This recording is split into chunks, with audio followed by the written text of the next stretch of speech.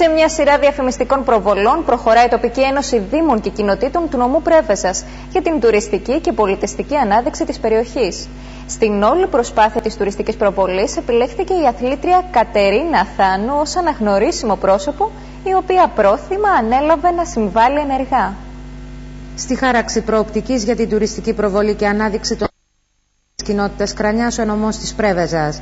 Σε συνέντευξη τύπου που παραχώρησε το πρωί της Δευτέρας ο πρόεδρος της ΤΕΔΚ του νομού Φάνης Μικρούλης, επισημαίνει μεταξύ των άλλων ότι προσπάθεια και κοινά σημεία πλεύση όλων των Δήμων η αξιοποίηση κάθε περιοχής μέσα από την προβολή τόσο στον έντυπο όσο και στον ηλεκτρονικό τύπο, με διαφημιστικά σποτ και την αρρωγή στην προσπάθεια αυτή της αθλήτριας Κατερίνας Θάνου, η οποία προσφέρθηκε να βοηθήσει στο εγχείρημα της προβολής. Και επειδή μετά από 15 μέρες θα δείτε στα κρατικά κανάλια, ΕΡΤ1, ΕΡΤ2, ΕΡΤ3, σε δύο εθνικά κανάλια τα οποία ακόμα δεν έχω μέσα στη συμφωνία.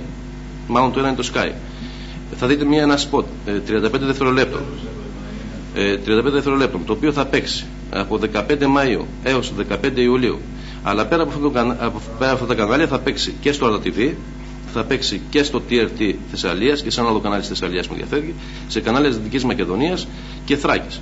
Δεν θα παίξει σε κανάλια ε, κάτω από την ε, Αθήνα, στα νησιά. Έτσι. Προσπαθούμε στη διαδικασία και να ξέρετε ότι και το Πάσχα όποιο κινήθηκε, ότι όλος ο τουρισμός, η μεγάλη βιομηχανία των Ελλήνων που θα έρθουν στην περιοχή μας θα είναι από τη Βόρεια Ελλάδα.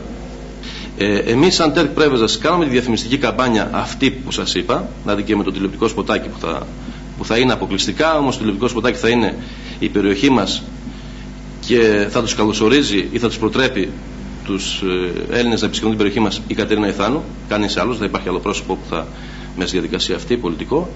Ε, από εκεί και πέρα θα γίνει και ένα DVD 10 λεπτών ε, το οποίο θα, δοθεί, θα παραδοθεί προς τέλος Ιουνίου σε όλους τους ενδιαφερόμενους και στα, σε όλους τους φορείς ε, σε τέσσερις γλώσσες, ελληνικά, αγγλικά, γερμανικά και ρώσικα. Ε, πέρα